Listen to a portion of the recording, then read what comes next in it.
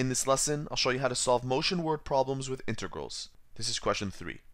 The question reads, a flywheel in a machine starts from rest and accelerates at 3.85 t radians per second squared.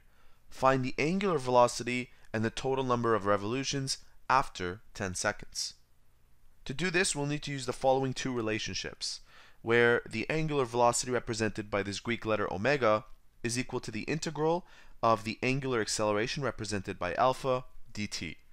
So the first step is to take the integral of this function 3.85t and that will give me my angular velocity.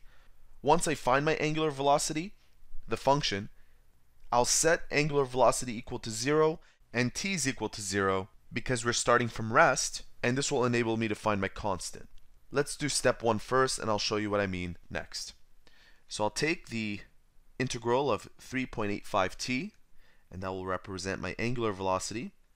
Finding the integral of this term isn't hard.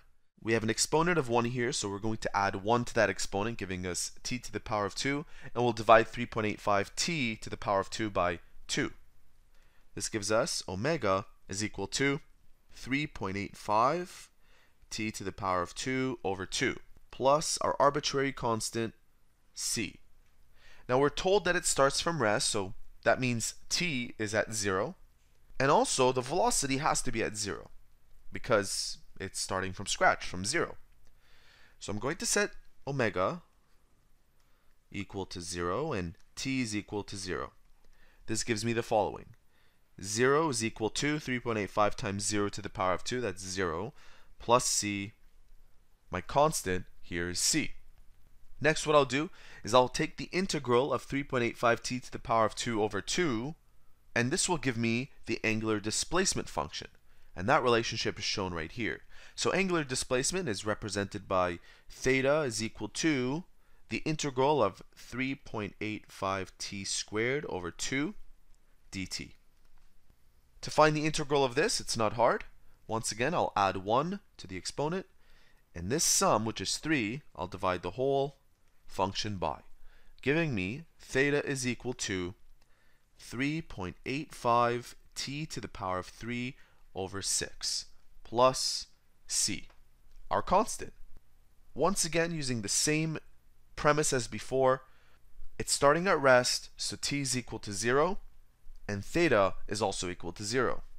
This gives me 0 is equal to 3.85 times 0 to the power of 3, that's 0. Our constant is c, therefore our angular displacement formula is theta is equal to 3.85 divided by 6 t to the power of 3. The last part of this question asks us for the total number of revolutions after 10 seconds.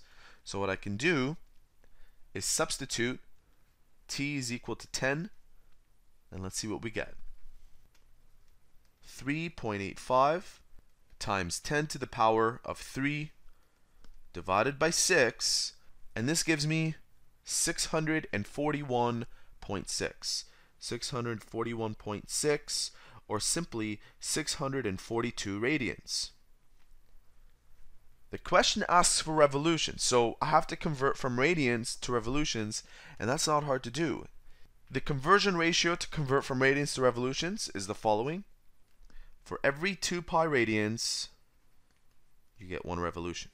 So, I'm going to take 642 radians and multiply it by 2 pi radians at the bottom, and 1 revolution at the top.